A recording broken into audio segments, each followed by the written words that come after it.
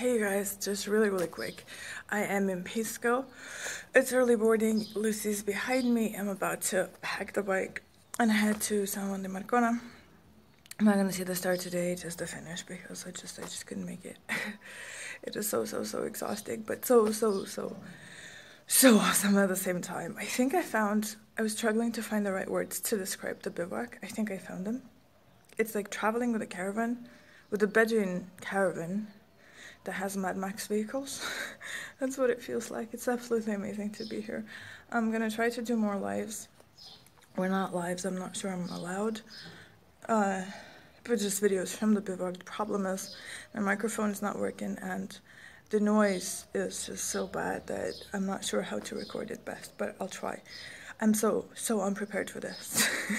but, sorry, um, but I'm just doing my best. So, Pack Bike Go Chase the Dakar. Today I've posted an update on ADV Rider. Uh, I got some video riding with the Dakar riders from Lima, from start, uh, Lima. They did the liaison stage yesterday and a short desert stage. Everybody finished okay, and it was kind of cool to talk to them after the race because a lot of them said that yesterday, you know, leaving Lima at 5:30 in the morning, a lot of them felt like really on edge and really like so much pressure and just stressing out because it is the Dakar, right? And then after actually doing liaison, which was on the Pan American Highway, and then doing the short stage in the dunes, um, that it felt really good. That once you start, once you get going, you get going, and the nerves kind of, you know, they feel a lot better now. A lot of them said they actually had a lot of fun because the dunes were kind of nice and, and easy enough and um, so they all feel pretty great.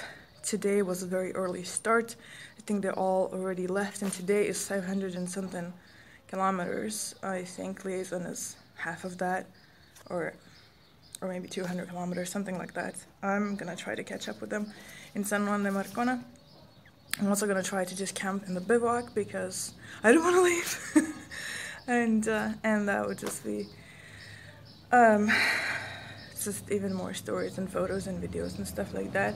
Um, a lot of Malle Moto riders said that they expect today to be pretty difficult because uh, the cars start first.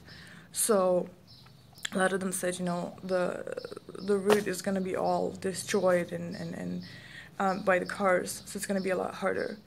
Um, so today, the real tough stuff begins and I'm gonna chase it and I'm gonna let you know what happens and I will see you in San Juan de Marcona.